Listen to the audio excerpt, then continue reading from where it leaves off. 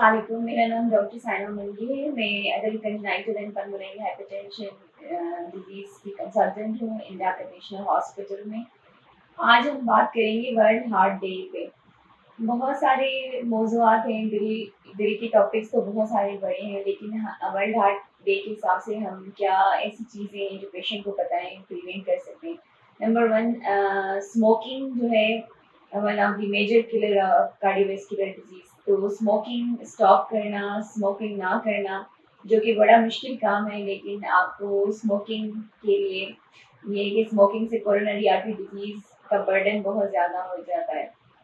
दूसरी चीज़ें आप हेल्दी डाइट खाएँ फ्रूट्स वेजिटेबल्स अवॉइड जो है फेट्स वगैरह अवॉइड करें।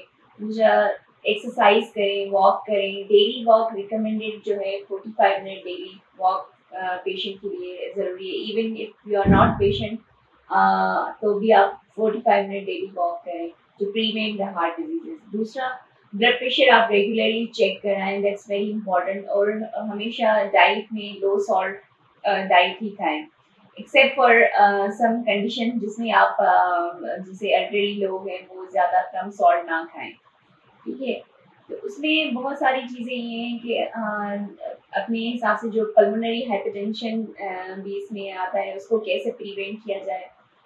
उसके प्रिवेंशन के लिए ये कि अगर किसी को भी पता चलता है कि उनके फेफड़ों के प्रेशर बहुत ज़्यादा बड़े हुए या थोड़े से भी बड़े हुए आप मेजॉरिटी ऑफ़ डॉक्टर्स को मिस डायग्नोज कर देते हैं। आप उसको अर्ली डायग्नोसिस के लिए अगर आपको एको में पता चलता है, आपको फेफड़ों के प्रेशर हाई है तो आप उसके स्पेशलिस्ट के पास जाएँ, क्योंकि मजीद अगर पल्मोनरी हाइपरटेंशन बढ़ता है तो लंग और हार्ट दोनों पे अफेक्ट करता है और इवेंचुअली वो फेल हो जाते हैं। उसको प्रिवेंट करने के लिए आप दिखा सकते हैं। दूसरा प्रेगनेंसी में प्रेगनेंसी और हार्ट डिज़ीज़ में ये है कि आप प्रेगनेंट वुमेन जब ट्वेंटी टू वीक्स पे आए तो अपना फीटल एको करा दें तो बच्चे का पता चल जाए कि उनको कोई कंजनाइटल हार्ट डिज़ीज़ या कोई कार्डियोवेस्कुलर डिज़ीज़ तो नहीं है। इस तरह हम बहुत सारी चीज़ों को प्रिवेंट कर सकते हैं।